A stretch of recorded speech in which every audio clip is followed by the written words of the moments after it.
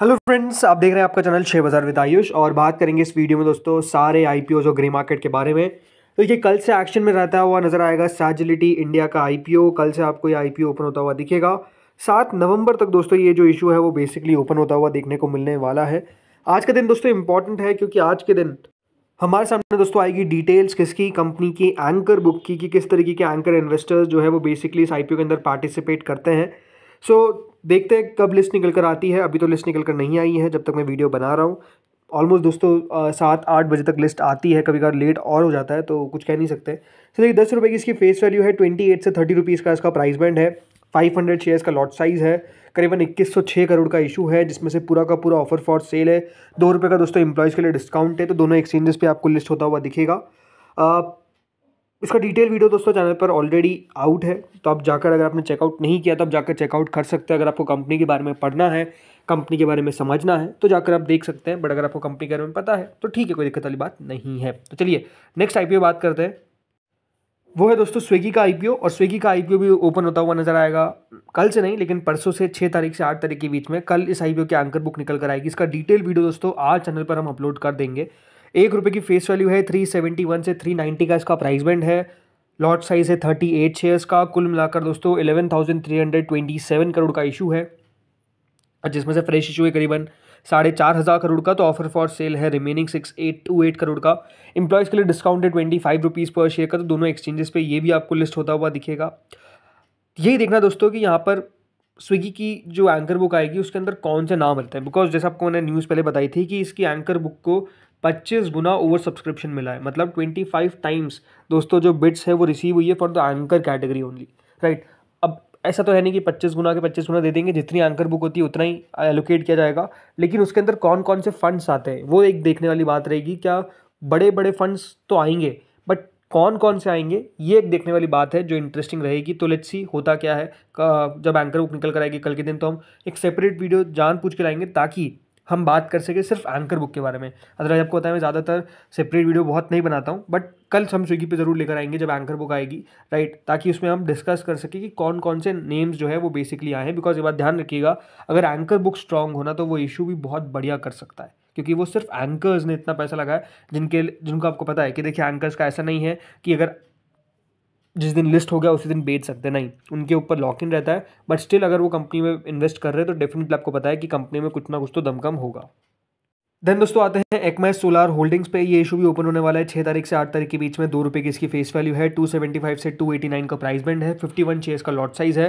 Twenty nine hundred crore का दोस्तों ये इशू है, जिसमें से two three nine five crore का है। फ्रेश इशू तो remaining offer for sale five zero five crore का। ये भी आपको दोस्तों दोनों एक्सचेंजेस पे लिस्ट होता हुआ नज़र आएगा। इसके अंदर भी इंप्लॉयज के डिस्काउंट है करीबन ट्वेंटी सेवन रुपीज़ पर शेयर का। सो देखते हैं यहाँ पर कितना बढ़िया करता हुआ नज़र आ सकता है। कल इसकी भी एंकर बुक जैसा आपको बताया आएगी और इसके अंदर भी याद रखिएगा रिटेल का जो पोर्शन है, वो दस परसेंट ही रखा गया है। देन दोस्तों आते हैं अगले आईपीओ पे, जिसका नाम है निवा भोपा हेल्थ इंश्योरेंस जी हाँ अब फाइनली सारी डिटेल्स आउट हो चुकी है। ये आईपीओ दोस्तों सेवन्थ ऑफ़ नवंबर से इलेवंथ ऑफ़ नवंबर के बीच में ओपन होता हुआ नज़र आएगा। तो ये आईपीओ दोस्तों क्लैश करेगा किस किस आईपीओ के साथ? ये क्लैश करेगा विद स्विगी पहली बात। और दूसरा दोस्तों जो इशू है वो है एक में राइट तो ये दोनों आईपीओ से ये क्लैश करता हुआ नज़र आएगा। बिकॉज़ ये बात ध्यान रखिएगा, सिर्फ़ एक दिन बाद ही आपको नेवा बुपा का आईपीओ ओपन होता हुआ नज़र आ रहा है। यानी जो स्विगी का पैसा है, जो एकमे सोलह का पैसा है, वो आप इस आईपीओ में यूटिलाइज नहीं कर सकते हैं।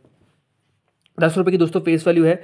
सेवेंटी से सेवेंटी फोर का प्राइस बैंड है। दो सौ शेयर का लॉट साइज़ है। बाईस सौ करोड़ का इशू है, जिसमें से आठ सौ करोड़ का है fresh issue remaining offer for sale fourteen hundred crore का।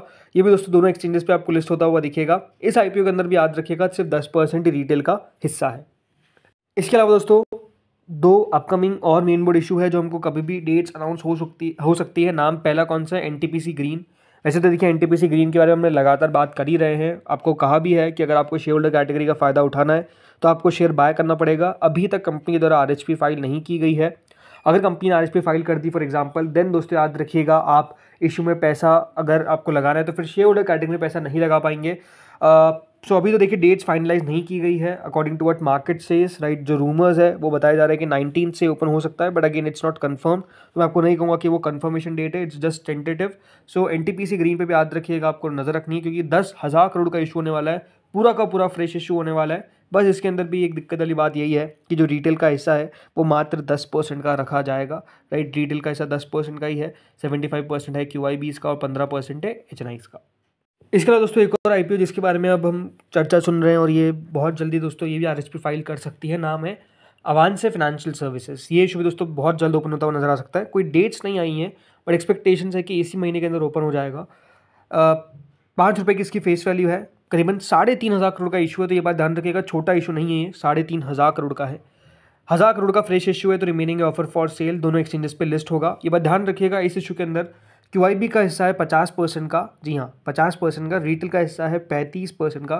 तो काफ़ी समय के बाद कोई ऐसा आई पी ओ आएगा जो साइज़ अच्छा है और रिटेल का हिस्सा भी पैंतीस परसेंट का है। बाकी अगर आप देखेंगे कि जो भी आई पी ओ आ रहा है, उसमें रिटेल का हिस्सा मात्र दस परसेंट का रह रहा है। बाकी पंद्रह परसेंट का हिस्सा है एच एन के लिए बट लेट्स सी कि कंपनी अपना आई को अब लेकर आती है, क्योंकि मार्केट की हालात जो अभी ख़राब चल रहे हैं तो आई थिंक कंपनी भी सोच समझ के अपना आई पी ओ लेकर आएगी। तो लेट्स सी होता क्या है। अब दोस्तों बात करते हैं यहाँ पर ग्रे मार्केट पर देखिए नेवा भोपा हेल्थ इंश्योरेंस जो आई पी है, इस आई पी ओ की जो ग्रे मार्केट है, वो अभी तक स्टार्ट नहीं हुई है। ये बाईस सौ करोड़ का जैसा आपको बताया इशू है लेकिन अभी तक कोई ग्रे मार्केट में एक्टिविटी नहीं है।